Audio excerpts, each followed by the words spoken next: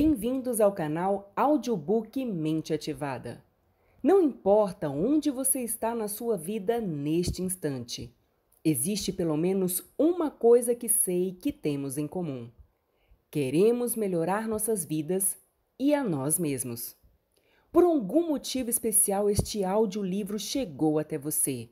Se você gostar e quer que este conteúdo também ajude outras pessoas, clique no gostei e deixe o seu like. Aproveite, se inscreva no canal e ative todas as notificações. Assim, você será avisado sempre que um novo conteúdo for postado por aqui. Aproveite o audiolivro de hoje.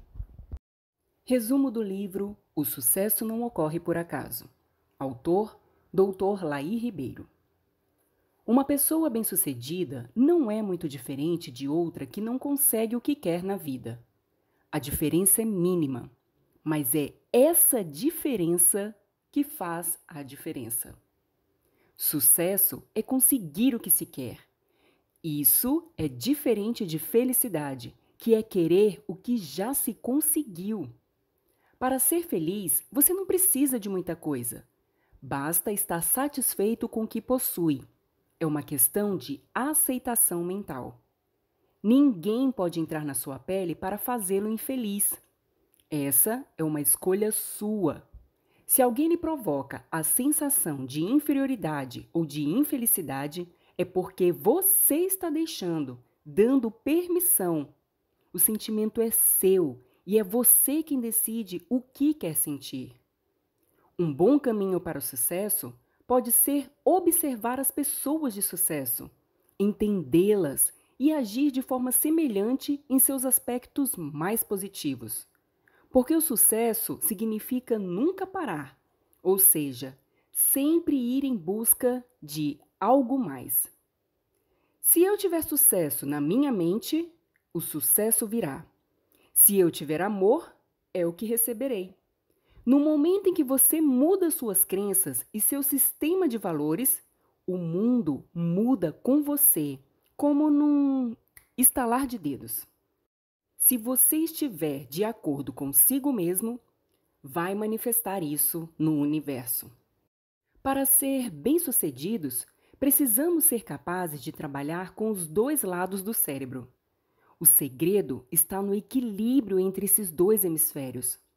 Quanto melhor você aceitar suas falhas, mais aprende com elas para fazer certo da próxima vez. Não interessa o quanto é você é bom, você sempre poderá ser melhor. Se você pensar nos momentos bem-sucedidos que já teve na vida, mais sucesso vai aparecer. Porque sucesso atrai sucesso. Mas quem faz seu sucesso é você mesmo. Você só consegue atrair aquilo que já possui. Se você não gosta do que está recebendo, então preste atenção no que está emitindo. Ter objetivos determinados na vida é fundamental para alcançar sucesso. Quando você traça uma meta, está trabalhando na construção do seu próprio destino. Sem planejamento, é quase impossível atingir grandes metas. Nosso cérebro não foi treinado para planejar. Muitos pensam que dá bastante trabalho. Na verdade, planejar é fácil. Chega a ser um divertimento. Basta treinar. As oportunidades estão na vida para serem vistas. Estão no nosso quintal, diante dos nossos olhos. O nosso cérebro precisa aprender a ver essas oportunidades, pois, na nossa educação, não somos treinados para isso. Por isso, o óbvio só é óbvio para os olhos preparados. A cada momento estamos criando em nosso cérebro nossa própria realidade. Do mesmo modo, podemos criar sucesso em nossa vida. Possibilidade versus expectativas. Uma expectativa, quando não se realiza, gera uma frustração. Uma possibilidade, mesmo quando não acontece, continua sendo uma possibilidade. Você não pode mudar o que não pode ser mudado. O mundo é um reflexo do seu interior. Você não precisa entender as coisas para que elas aconteçam. O segredo está no inconsciente. Sua autoestima está no nível inconsciente. Sabedoria é o uso inteligente do conhecimento consciente e inconsciente. Aquele que é capaz de profunda reflexão interna descobrirá os segredos do universo, pois é lá, no eu interior, que eles estão guardados. Quando ocorre um comprometimento, o resultado é uma conspiração universal. O universo passa a ser seu aliado quando suas metas estão alinhadas com a sua finalidade de vida e você se compromete a alcançá-las. Ousando fazer, o poder de realização lhe será otorgado. Porque o universo é potencialmente abundante, construído para todos ganharem. Para eu ganhar, você não precisa perder, a não ser que você insista. Aí o problema é seu. Porque a abundância é um direito universal. Tudo tem um preço. Nada é de graça neste universo.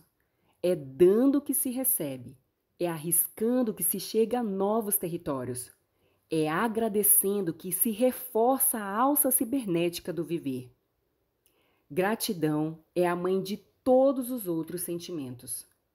Portanto, agradeça diariamente pelo que você tem e gostaria de ter, e o universo continuará lhe proporcionando não só isso, mas também coisas que você não tem e nem sabe ainda que gostaria de ter. A visualização é um recurso fundamental para a instalação de experiências no sistema nervoso. Quando uma visualização é bem feita, o cérebro não se importa em saber se aquilo realmente acontece no mundo físico ou apenas na imaginação. Se você fizer uma visualização bem feita, seu cérebro não distingue se de fato aconteceu ou se você só pensou. Você pode, por exemplo, treinar um esporte mentalmente, apenas fazendo a visualização tudo que você se concentra tende a aumentar. Concentre então em suas qualidades, sejam elas reais ou imaginárias, pois isso fará com que elas cresçam e frutifiquem. A palavra crise em chinês tem dois significados: perigo e oportunidade. É você quem escolhe se vai considerá-la um perigo ou uma oportunidade.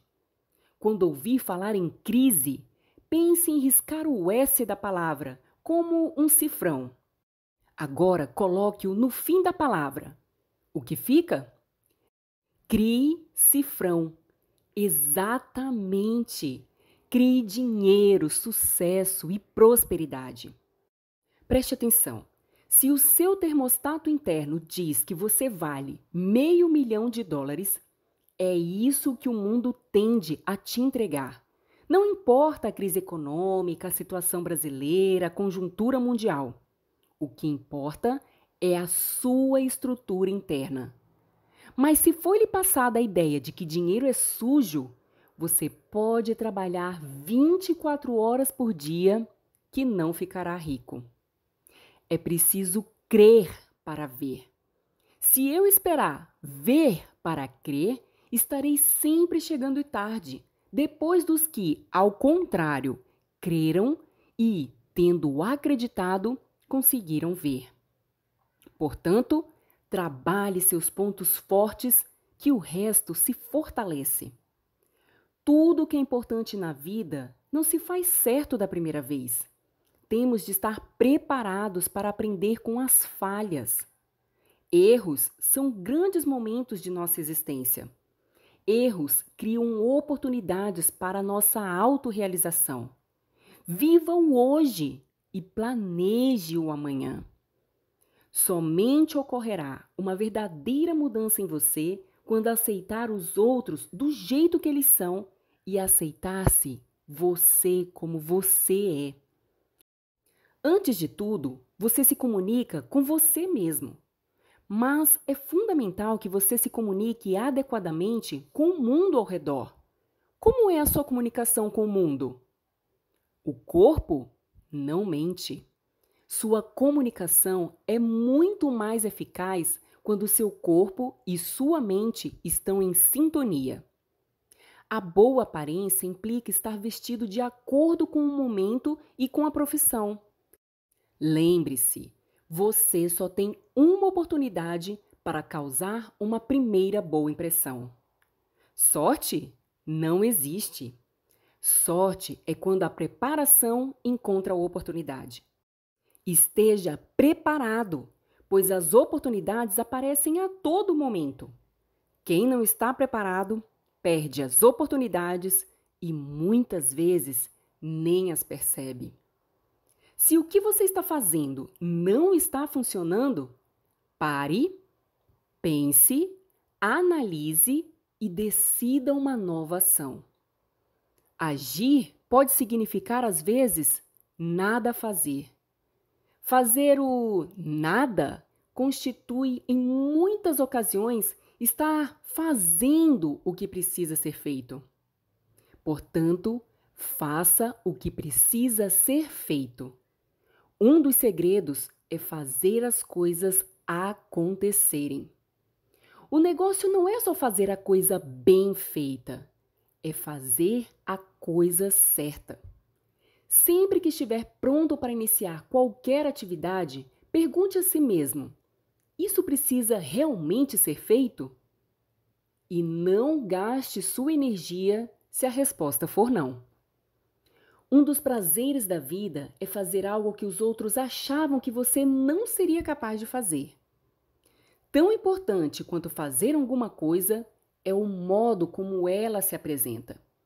Se você quer coisas diferentes, tem que fazer alguma coisa diferente. Isso não significa fazer coisas absurdas, mas pequenas coisas repetidas diariamente. Apenas assuma novas atitudes em pequena escala, mudando alguns graus em sua rota e firmando um destino realmente bem-sucedido. Contrate o melhor pessoal possível ao seu alcance e delegue. As pessoas que vivem mais são aquelas que estão sempre em atividades. Sabe o que é impossível? É aquilo que ninguém fez até que alguém faça. Porque o segredo é fazer as coisas acontecerem. Conversar não adianta. O que interessa é o resultado.